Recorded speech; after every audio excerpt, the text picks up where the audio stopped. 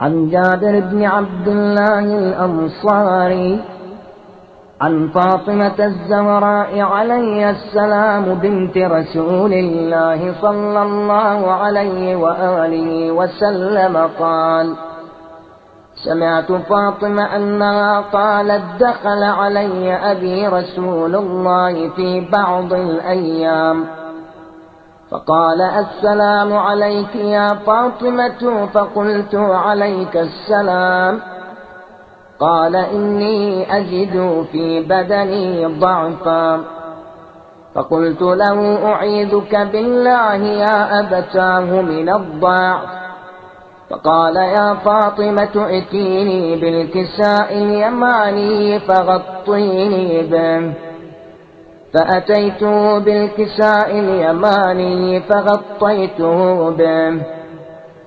وصرت أنظر إليه وإذا وجهه يتلألأ كأنه البدر في ليلة تمامه وكماله. فما كانت إلا ساعة وإذا بولد الحسن قد أقبل. وقال السلام عليك يا أماه فقلت وعليك السلام يا قروة عيني وثمرة فؤادي. فقال يا أماه إني أشم عندك رائحة طيبة كأنها رائحة جدي رسول الله صلى الله عليه وآله وسلم.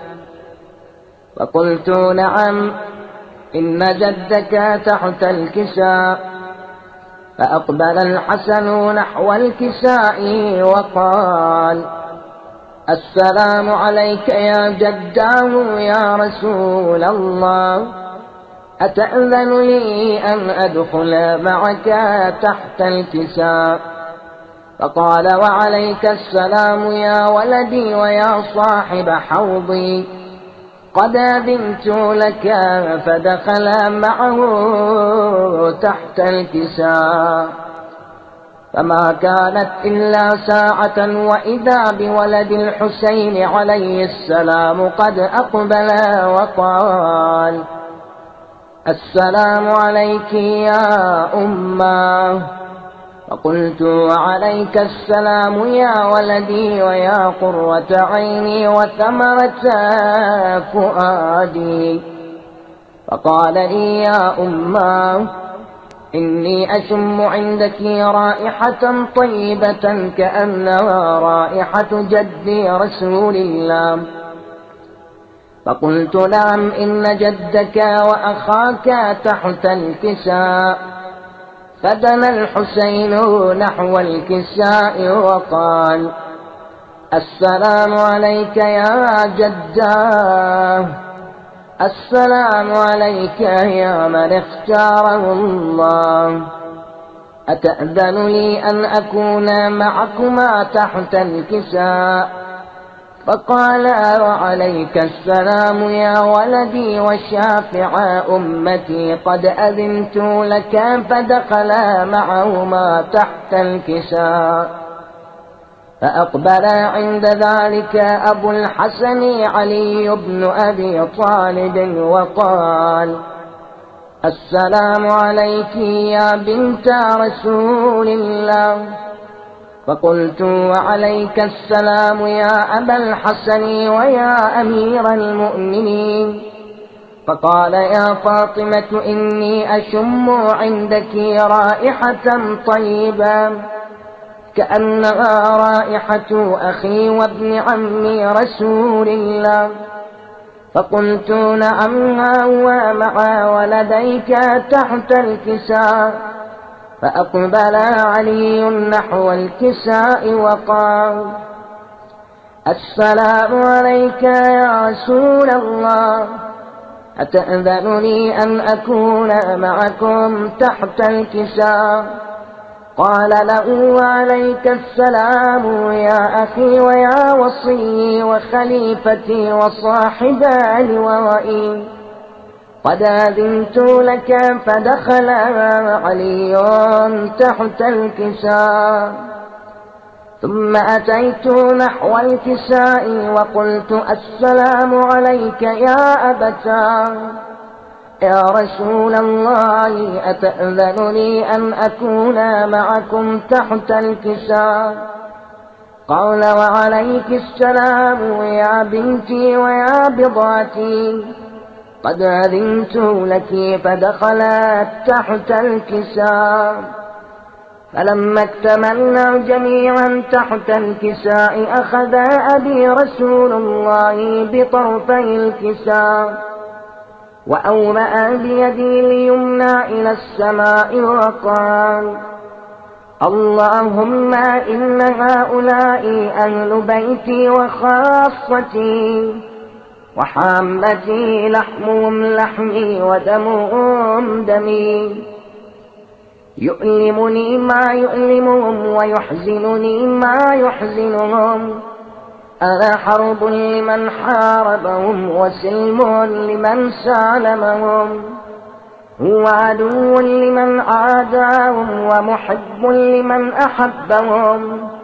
إنهم مني وأنا منهم. فاجعل صلواتك وبركاتك ورحمتك وغفرانك ورضوانك علي وعليهم. وأذنب عنهم الرجس وطهرهم تطهيرا.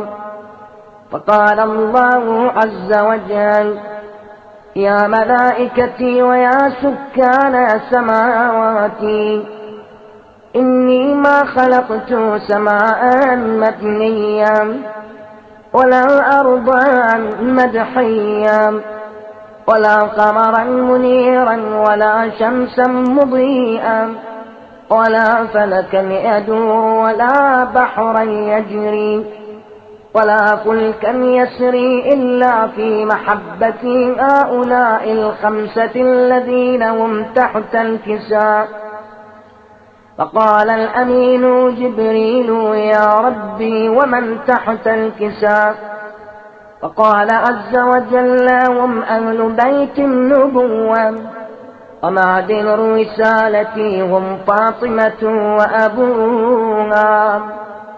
وبعلها وبنوها فقال جبريل يا ربي أتأذن لي أن أربط إلى الأرض؟ لأكون معهم سادسا. فقال الله نعم قد أذنت لك فهبط الأمين جبريل وقال السلام عليك يا رسول الله. العلي الأعلى يقرئك السلام ويخصك بالتحية والإكرام. ويقول لك وعزتي وجلالي إني ما خلقت سماء مبنيا ولا أرضا مدحية ولا قمرا منيرا ولا شمسا مضية ولا فلكا يدور ولا بحرا يجري ولا فلكا يسري. إلا لأجلكم ومحبتكم. وقد أذن لي أن أدخل معكم. فهل تأذن لي يا رسول الله؟ فقال رسول الله وعليك السلام يا أمين وحي الله.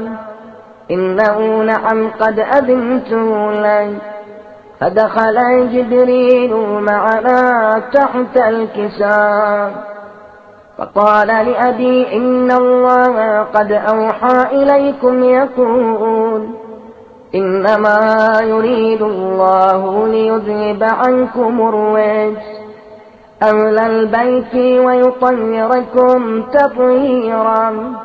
فقال علي لأبي يا رسول الله أخبرني ما لجلوسنا هذا تحت الكساء من الفضل عند الله.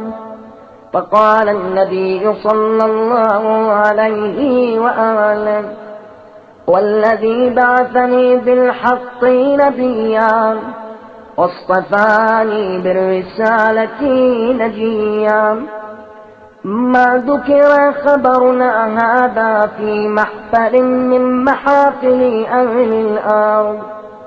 وفيه جمع من شيعتنا ومحبينا إلا ونزلت عليهم الرحمة وحفت بهم الملائكة. واستغفرت لهم إلى أن يتفرقوا. فقال علي عليه السلام إذا والله فزنا وفاز شيعتنا ورب الكعبة. فقال أبي رسول الله صلى الله عليه وآله يا علي والذي بعثني بالحق نبيا واصطفاني بالرسالة نجيا. ما ذكر خبرنا هذا في محفل من محافل أهل الأرض.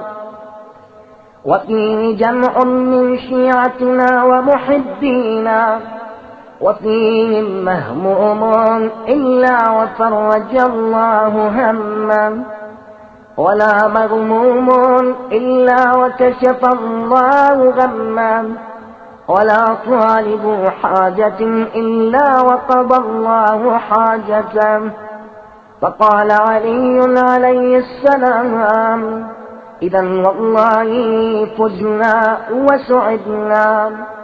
وكذلك شيعتنا فازوا وسعدوا في الدنيا والآخرة ورب الكعبة.